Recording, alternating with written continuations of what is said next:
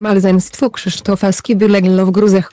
Teraz w jego życiu młodsza o 26 lat modelka, jestem artysta i potrzebuję muzy.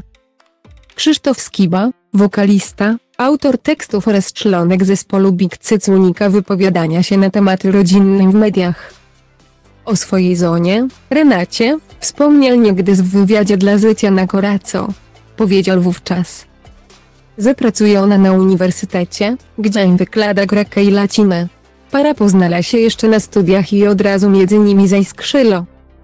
Owocem ich miłości jest dwaj synowie, Tymoteusz, 35 litrów, oraz Tytus, 25 litrów.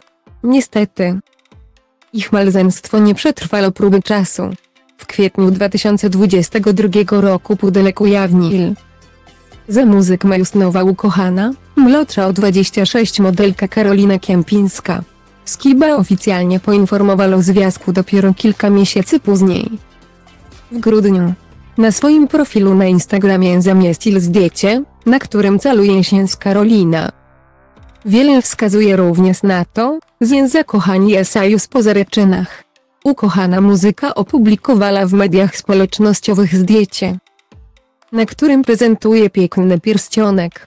Podpisała je data 11 07.2022, co może sugerować, że właśnie wtedy przyjęła oświadczyny Skiby.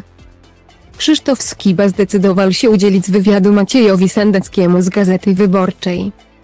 Opowiedział nie tylko o swojej karierze muzycznej, ale także związku z Karolina. Skiba nazywał ukochana swoja muza. Dzięki niej czuje się o wiele młodszy, jest pełen energii i chęci do życia. Artysta nie przejmuje się komentarzami, w których internauci snuje domysły na temat jego związku z Karolina. Jest szczęśliwy ze swoja partnerka i to liczy się dla niego najbardziej.